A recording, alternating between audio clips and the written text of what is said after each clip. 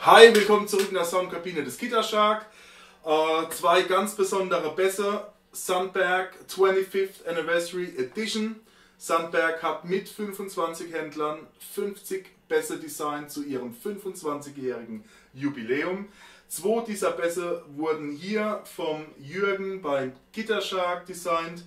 Weltpremiere Harry Häusel Drumbugger Bass Pickups wurden in Kooperation mit Harry Häusel entwickelt und gibt es bisher nur auf diesen beiden Bässen. Die gute Nachricht ist, der blaue ist noch erhältlich. Die schlechte Nachricht ist, der Jens hat sich den gelben gesichert.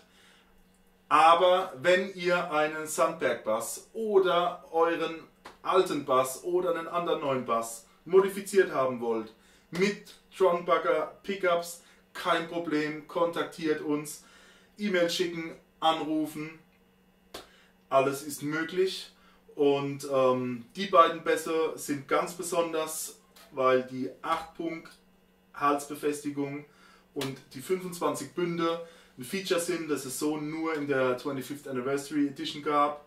Ansonsten könnt ihr euch so einen California Bass in ähnlicher Manier äh, gestalten lassen, mit uns ausarbeiten, wie der auszusehen hat.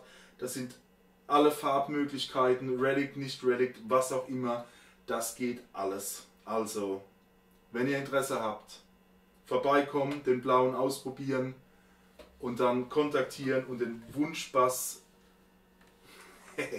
und den Wunschbass zusammen mit dem Jürgen von Gittershark entwickeln. So, und jetzt hören wir uns das mal an. Eigentlich wollten wir einen anderen M benutzen, aber die Fender Bassman äh, TV15 Kombi mit dem Tech 21 NYC VT Bass fanden wir so großartig, dass wir diese Combo jetzt nochmal benutzen. Thank